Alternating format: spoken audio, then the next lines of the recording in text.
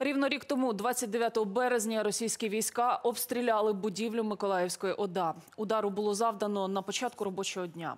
В результаті центральна частина будівлі була вщен зруйнована. До лікарні доправили 37 людей з ушкодженнями різного ступеня важкості. Розбирання завалів і пошук тіл загиблих тривали майже тиждень. 5 квітня Миколаївська обласна військово-цивільна адміністрація опублікувала е, перелік загиблих, який містить 37 імен. У день удару е, Віталій Кім висловив думку, що ракетний удар свідчить про те, що ворог відмовився від наступу на місто, оскільки у такому разі окупантам був би потрібний дієздатний центр управління. Наразі ж споруда чекає на відбудову. А від ранку миколаївці приходять до зруйнованої будівлі облради, щоб вшанувати пам'ять загиблих під час влучання крилатої ракети е, 29 березня 2022 року.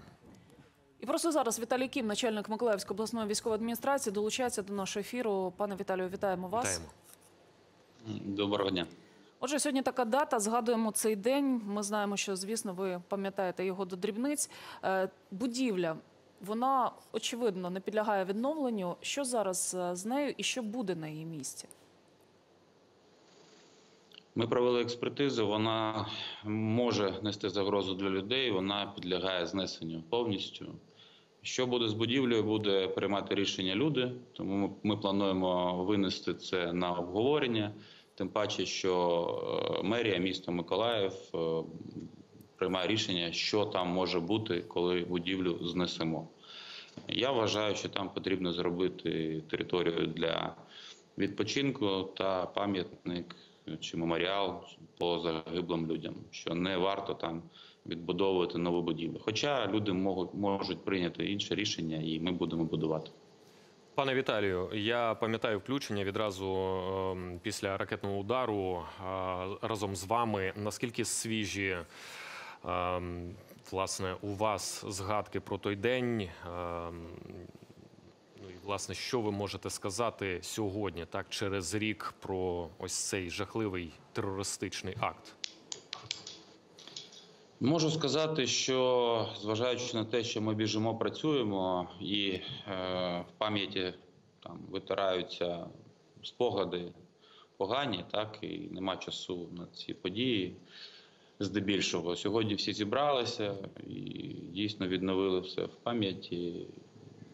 Багато було слів, всі були розчулені, скажімо, важко. Важче, ніж було в той день, тому що в той, той день були пріоритети відбити місто, військові події. Зараз, коли трохи легше, воно по-іншому переживається, скажімо так. В той день ми жили, в ті часи ми жили одним днем, аби вижити до завтра, аби щось зробити корисне. Зараз більше є планів, і тому відчувається це всією моєю командою зовсім по-іншому.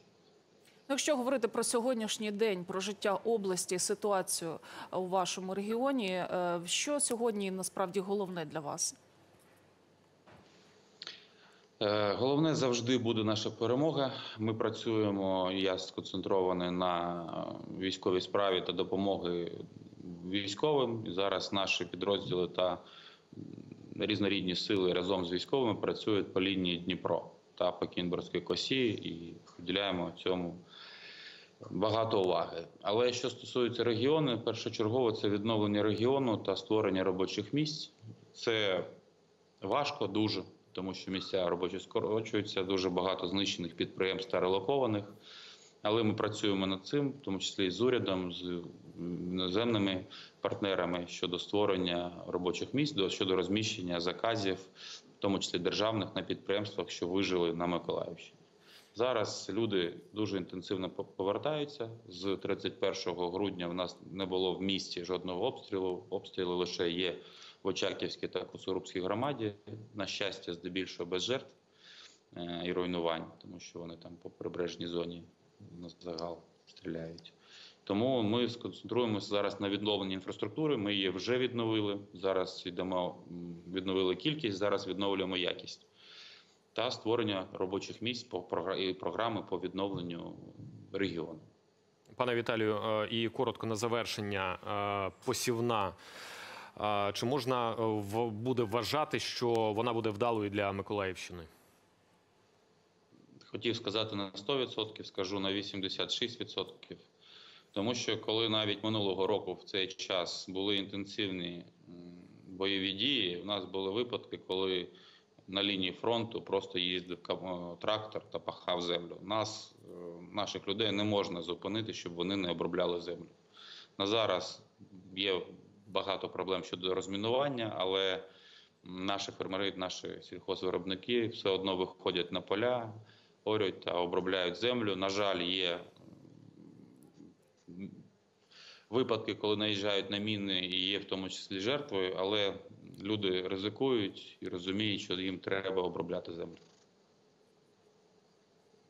Дякуємо вам за цю інформацію. Віталій Кім, начальник Миколаївської обласної військової адміністрації, долучався до марафону Єдині новини.